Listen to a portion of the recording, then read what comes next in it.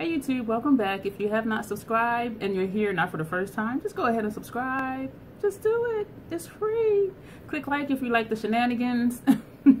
Click like if you like that I do consider myself a troll. A cute troll when I put on face paint, but a troll nonetheless. I mean, I, I own my junk. So, you know, thumbs up and click like for that. Hey, you got...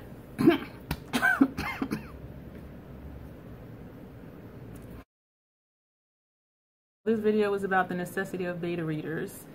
Um, a lot of you may not know that I do write, um, more so since I retired from the clinical field, so it's been really great to get back to doing something that I enjoyed doing. Yes, I did enjoy clinical work. Um, I used to write when I was an adolescent, mostly poetry. Um, I did some pro prose, P-R-O-S-E. Um, and I know I said that funny. I'm weird that way. That's part of the crazy NTCTN. But anyway, I started taking my writing more seriously since I retired from the clinical field because I'm able to devote time to it and to doing articles and also short stories, flash fiction pieces, and also polishing up the formatting of poetry I've written when I was younger. I have stuff going back to like 1984. A lot of stuff I did lose because I moved around a lot, but it surprised me to find as much as I did, so much so that eventually I'm going to publish it as a poetry slash prose collection. Right now, though, I'm focusing on um, a memoir of the first 25, 26 years of my life. I am 50 now, and so there is a huge gap, and I may do a second one on the second quarter of my life from my mid 20s until now which I'm 50 so but I'm not sure I am leaning I am leaning more and more towards doing that uh, right now, though, I am focusing on polishing up the memoir that I have. And any book that's written, once you write it, is called a manuscript. And so from now on, when I say manuscript, I'll be referring to my memoir, which is a book. This video, the purpose of and the necessity of beta readers. A beta reader is a person who reads your manuscript for story flow, character development, um, helps you determine if there's potholes in your story, if there's things that don't quite fit or things that are just not clear.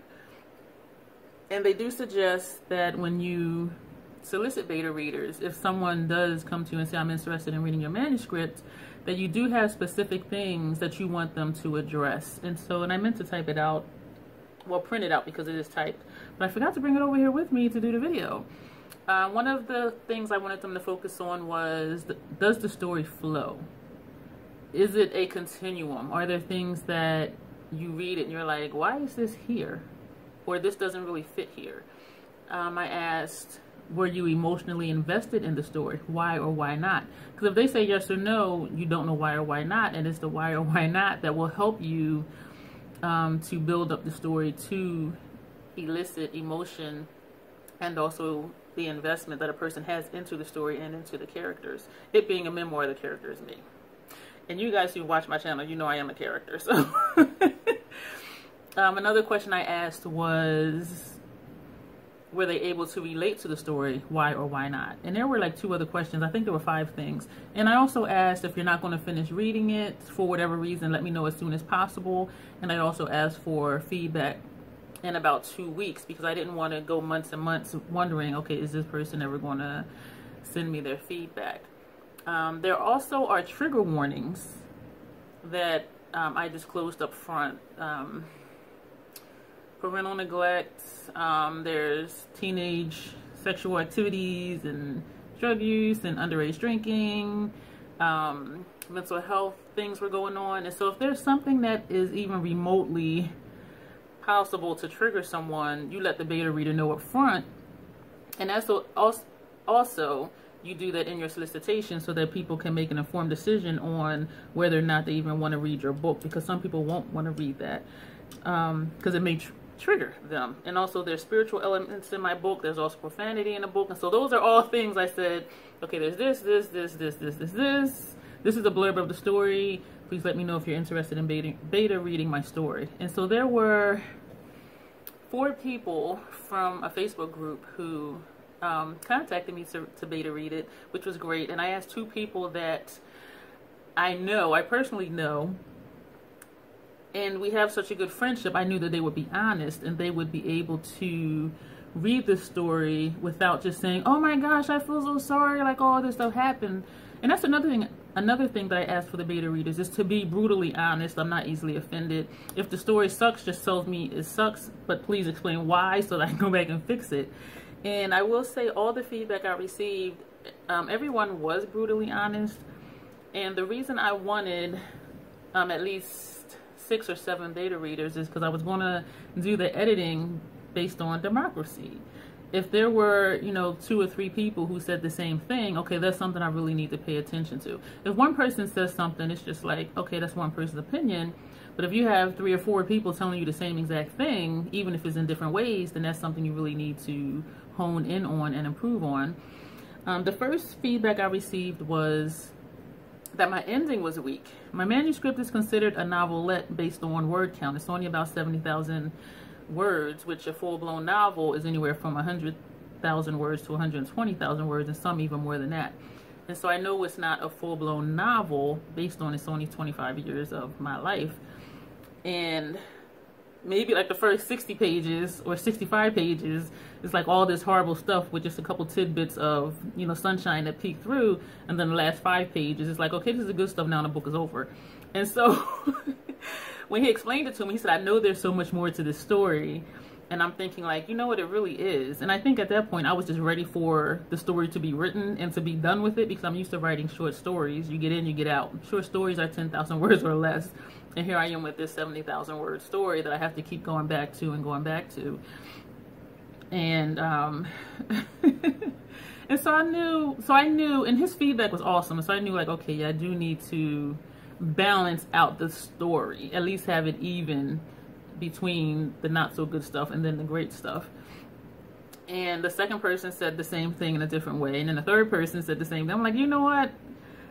And I didn't tell one person what the other had said and I actually waited until I received feedback from five people to sit down and compile it into a list of what I need to work on, what I need to improve, and where I need to elaborate, and where I need to add in more details and things like that. And so it's been a good experience.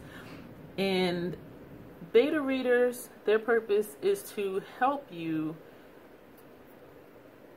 by way of their feedback for you to figure out what you can improve on and how essentially to make your story better and when you think of beta readers, just like when there's a new program that comes out, it's a beta project. They're just putting it out there to see what the feedback is so that they can make it better. The same thing with beta readers.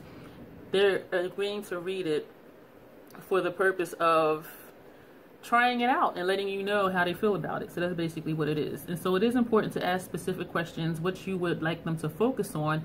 Beta readers are not editors. If they want to edit, they can do that. But I do say up front, you know, these are the main things I would like you to, to think about while you're reading it and to let me know what your comments are on those things.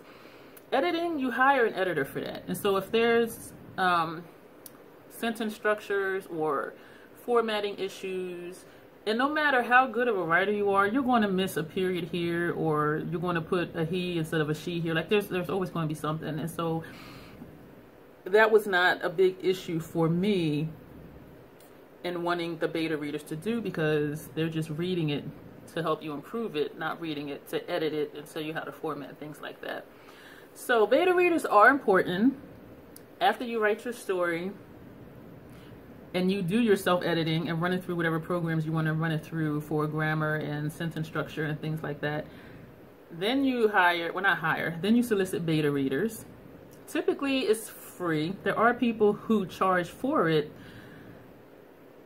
which has changed over time because it used to just be beta readers were free period and so I did solicit free beta reading services so after I have the feedback from that which I do I'm still waiting for one more then I will do an edit based on all of their feedback then I will hire a professional editor to help me further polish it and then edit after the editor's feedback